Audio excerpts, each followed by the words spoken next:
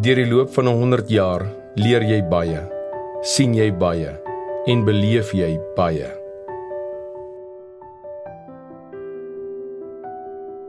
Jy leer van swaar en klein begin. En wanneer daar in 1910 slegs 6 leerdlinge vir jou nuwe koshuis opdaag, leer jy van aanhou. Want jy weet wie aanhou wen. Jy leer van tree vir tree voortbeur om jou pas te versnel totdat jy later in die voorste bondel self die pas aangee.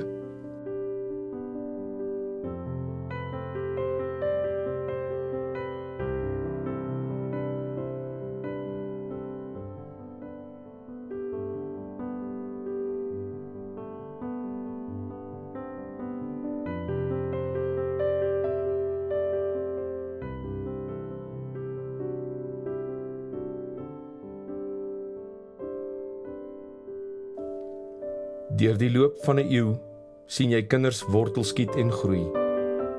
Kaalvoetkinders vanuit jou kontry word groot en is vandag gerekende wêreldburgers wat oral en oor tydsones heen skitter soos diamante uit die Molopo se klipvelde.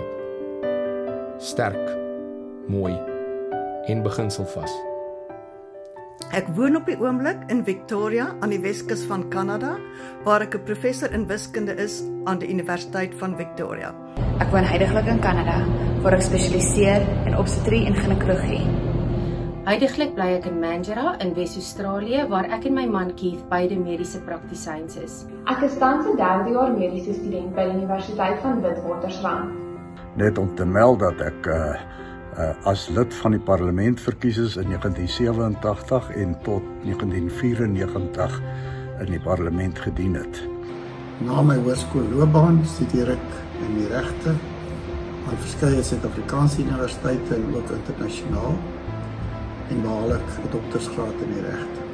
Ek was voorheen predikant van Tygerpoort gemeente in Pretoria en moderator van die NG Kerk se oostelike sinode.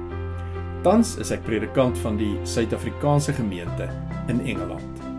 Tans is ek professor in klavier aan die konservatorium van die Noordwes Universiteit in Potchefstroom.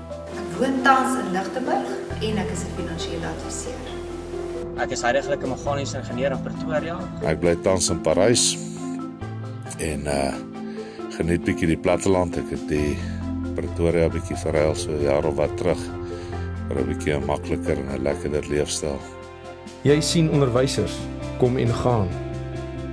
Maar 'n spesiale paar se voetspore word hier vir ewig. Hier in ons plat wêreld waar die water van die Hartsrivier vermeng met die kalkstof uit ons aarde en jou vasmessel so sement. Ek het in Januarie 1953 by Lichtenburg Hoërskool begin skoolhou en ek het in Desember 1990 afgetree. Ek is Dalena Zandberg en ek is 'n musiekonderwyseres vir 45 jaar by Hoërskool Lichtenburg. Ek het die wonderlike voorreg gehad om as onderwyseres aan Hoërskool Lichtenburg verbonde kon wees vanaf 1977 tot 2017. Ek was bevoorreg geweest om vanaf 2001 aangestel te word as skoolhoof by Hoërskool Lichtenburg waar ek dan ook vir 14 jaar die skoolhoof was. 59 by Liggies begin, 65 my laaste jaar as jong onderwyser. Wonderlike jare, vormende jare met kollegas wat baie in my lewe vir my beteken het en sekere groot mate tot my vorming bygedra het. Daarvan af na skool in Pretoria tot 1983 en 83 begin as hoof by by ons wonderlike skool tot ek afgetree het in 94. Maar hier leer jy nie net van algebra, geskiedenis en Afrikaans nie. Jy leer ook lewenslesse. En meer belangrik, jy leer ander mense ken. By Hoërskool Lichtenburg het ek geleer dat Potty altyd wen met 'n 6 oor 'n niks. Maak nie saak hoe goed jy voorberei is nie. Hoërskool Lichtenburg is waar 'n mens groot pret het, hard werk en die beste herinneringe maak. Gedurende die tyd wat ek in Hoërskool Lichtenburg was, was meneer Henk van der Merwe die skoolhoof en hy het gesê it is not about the size of the dog in the fight but about the size of the fight in the dog. En presies dit is wat ek by Hoërskool Lichtenburg geleer het. Hoërskool Lichtenburg is 'n plek waar jy jouself leer ken en vele geleenthede het om die beste weergawe van jouself te kan uitleef. En as jy gelukkig is, kan jy selfs jou trouman daar ontmoet. Hoogtepunte van my skoolloopbaan by Hoërskool Lichtenburg was verseker die lewenslange vriende wat ek daar kon maak.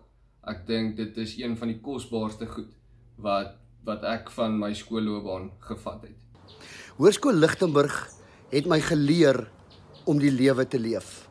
Ek het basiese grondbeginsels van die lewe tydens my skoolloopbaan geleer. En met die verloop van tyd word laerskoolkennisse vriende en vriende raak kamerade.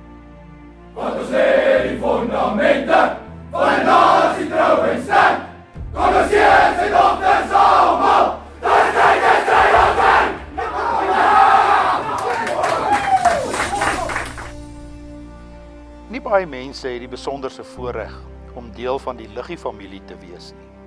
Vir die van ons wat wel deel is van hierdie uitsonderlike groep mense, is dit dus geen verrassing dat Hoërskool Lichtenburg nie net 'n wêreldoorlog nie, maar ook die oorskakeling van millennia sowel as 'n globale pandemie kon trotseer. Die Liggie familie is 'n hegte familie. En al word ons deur oseane en generasies geskei, word ons saamgesnoer deur ons band aan hierdie roemryke instelling wat onlosmaaklik deel van ons lewens geword het. Na 100 jaar sê ons dankie aan elke liggie wat deel van ons geskiedenis was. Wat help vorm het aan ons unieke karakter en wat deel bly van ons.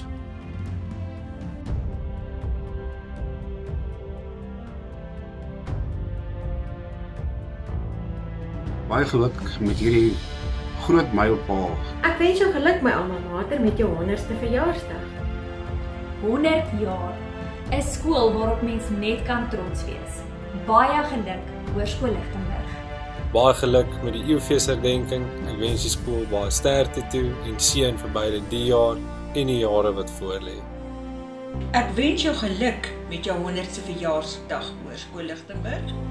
Jy het diep spore in my hart getrap. Ons wil graag vir Lichtenburg Hoërskool sê baie geluk met die 100ste verjaarsdag. Baie geluk aan die liggies met jul 100-jarige bestaan. Ek wil sê geluk my ouma Mater met 100 jaar van boustene. Hoërskool Lichtenburg, veels geluk met jou 100ste verjaarsdag.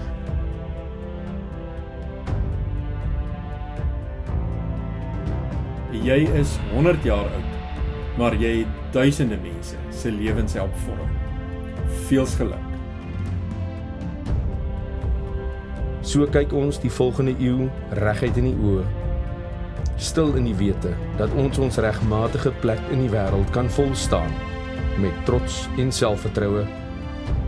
Wetend dat ons die leiers van nuwe generasies voorberei vir die uitdagings wat voorlê. Mag daar een ding wees wat ons nooit sal vergeet nie.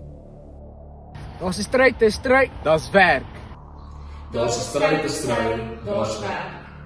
Daar's 'n stryd te stry, daar's werk.